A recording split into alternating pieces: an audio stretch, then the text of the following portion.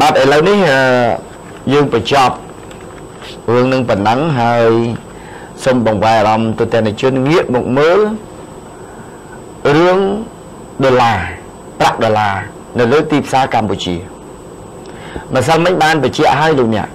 ប៉ុន្តែឥឡូវនេះដើម្បីឲ្យជឿជាក់កាន់តែច្បាស់តកតងអំពីបញ្ហាប្រាក់ដុល្លារដែលមានបោះត្រាតូចក្តីធំក្តីតើធនាគារជាតិអឺ ទទួលយកដែរឬទេអញ្ចឹងធនាគារជាតិបានបង្ហាញជំហរម្ដងទៀតក្រោយពេលបញ្ជួបជាមួយនឹងក្រុមអឺគ្រឹះស្ថានហិរញ្ញវត្ថុឯកជនថាតកតងអំពីការបោះត្រាតូចធំលហែកទុកកុំឲ្យតែលើសពី50%អាលើសពី30%អានោះបានពិបាកនឹងយកប៉ុន្តែតកតងបញ្ហាត្រាគឺអត់មានបញ្ហាអីទេគឺយកទាំងអស់ លើកលែងតែមួយគត់គឺคล้ายคล้ายប្រាក់ដុល្លារคล้ายคล้ายបានន័យថាបោះត្រាក៏ដោយមិនបោះត្រាក៏ដោយបើប្រាក់ដុល្លារคล้ายคล้ายយកទៅណាណានេះតែជាការបញ្ជាក់ជំហរម្ដងទៀតដើម្បីកុំអោយអឺបងប្អូនប្រជាពលរដ្ឋដែលកំពុងតែអឺចាយវាយប្រាក់ដុល្លារលើទីផ្សារប្រទេសកម្ពុជាមានការព្រួយបារម្ភ បាទតោះអញ្ជើញកញ្ញាសូមបញ្ជាក់បន្ថែមចាធនាគារជាតិនៃកម្ពុជាបដិសេធការឈប់ចរាចរណ៍ប្រាក់ដុល្លារដែលមានស្នាមប្រឡាក់តិចតួចធនាគារជាតិនៃកម្ពុជាថានឹងមិនមានការឈប់ទទួលយកនៅរូបិយប័ណ្ណដុល្លារដែលមានបោះត្រាតូចតូចនិងប្រឡាក់តិចតួចដោយទៅនឹងការផ្សព្វផ្សាយតៗគ្នានៅតាមបណ្ដាញសង្គមនានានោះទេក្នុងរយៈពេលប្រមាណថ្ងៃថ្មីៗនេះមានការផ្សព្វផ្សាយតៗគ្នាថាធនាគារជាតិនិងកម្ពុជានិងធនាគារឯកជនព្រមទាំងគ្រឹះស្ថានមីក្រូហិរញ្ញវត្ថុនិងកន្លែងទូទាត់ប្រាក់មួយចំនួនមិនទទួលយកនៅក្រដាស់ប្រាក់ដុល្លារអាមេរិកដែលមានប្រឡាក់ទឹកថ្នាំតិចតួចដូចជាទឹកថ្នាំបោះត្រាតូចតូចនិងទឹកប៊ិចជាដើម ភ្លាមភ្លាមដើម្បីឆ្លើយតបជុំវិញបញ្ហានេះធនាគារជាតិនៃកម្ពុជាបានចេញសេចក្តីជូនដំណឹងកាលពីល្ងាចថ្ងៃទី13ខែមិថុនានេះថាធនាគារជាតិនៃកម្ពុជាសូមបដិសេធចំពោះការលើកឡើងខាងលើនេះហើយបានបញ្ជាក់ថាធនាគារជាតិនៃកម្ពុជានៅតែទទួលយកក្រដាស់ប្រាក់ដុល្លារពីអតិថិជនរបស់ខ្លួនគឺគ្រឹះស្ថានមីក្រូហិរញ្ញវត្ថុដែលមានគណនីនៅធនាគារជាតិនៃកម្ពុជានៅពេលដែលក្រដាស់ប្រាក់ដុល្លារអាមេរិកនោះជាក្រដាស់ប្រាក់ពិតប្រាកដមិនคล้ายៗហើយមានគុណភាពសមស្រប លោកបណ្ឌិតប៊ុនមូនីនាយកប្រតិបត្តិធនាគារស្ថាបនាបានមានប្រសាសន៍ថាសម្រាប់ធនាគារស្ថាបនាផ្ទាល់គឺនៅតែទទួលយកក្រដាស់ប្រាក់ដុល្លារដែលមានប្រឡាក់បន្តិចបន្តួចដោយធម្មតាមិនមានអ្វីប្រែប្រួលនោះទេហើយលោកកថាធនាគារផ្សេងផ្សេងទៀតក៏ដូចគ្នាដែរគឺនៅតែប្រតិបត្តិការប្រាក់ដុល្លារប្រឡាក់បន្តិចបន្តួចដូចគ្នាព្រោះធនាគារជាតិក៏បានចេញសេចក្តីជូនដំណឹងហើយជុំវិញរឿងនេះ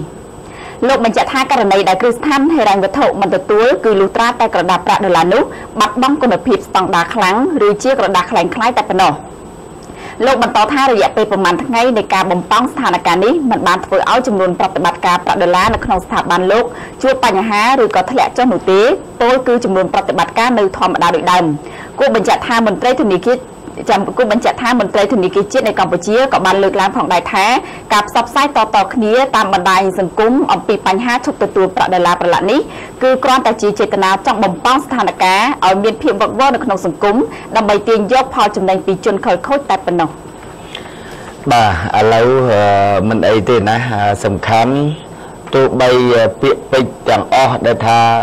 មានអ្នកញុះញង់នេះមានអ្នកបំពងសភាពការយ៉ាងណាក៏ដោយប៉ុន្តែ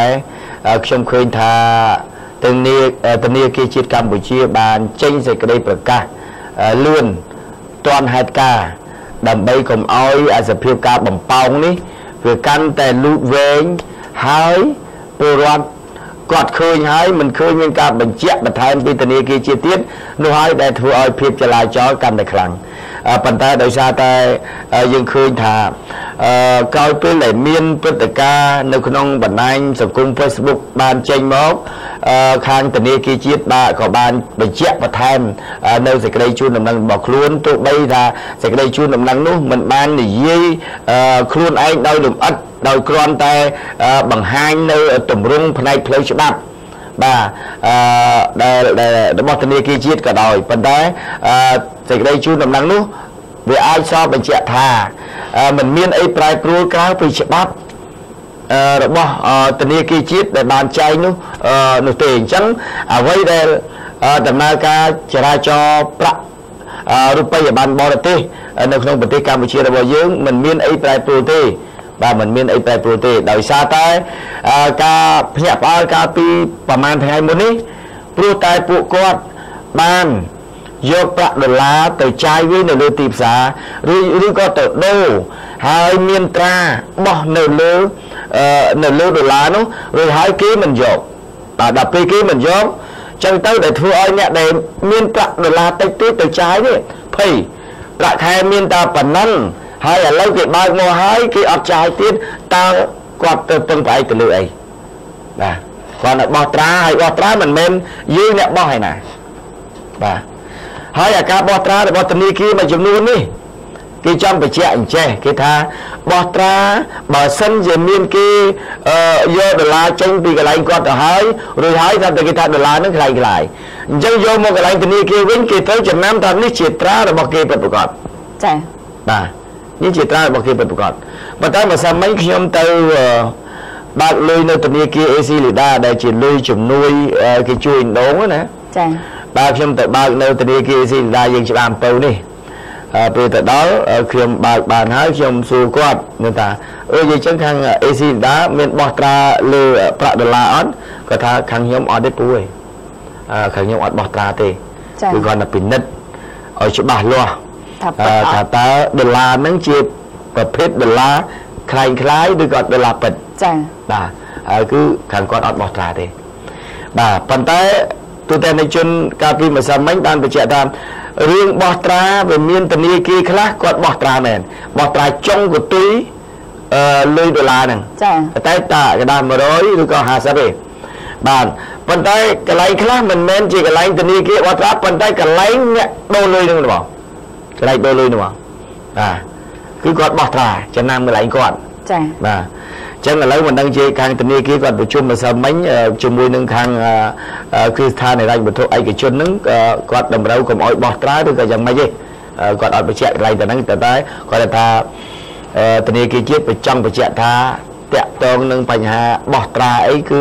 យើងអត់មានយកអាបញ្ហាហ្នឹងមកធ្វើជាអឺភាពចាំបាច់របស់យើងទេប៉ុន្តែសំខាន់អឺបោះឬមិនបោះ រឿងប្រាក់ដុល្លារនឹងខ្លាំងខ្លាយ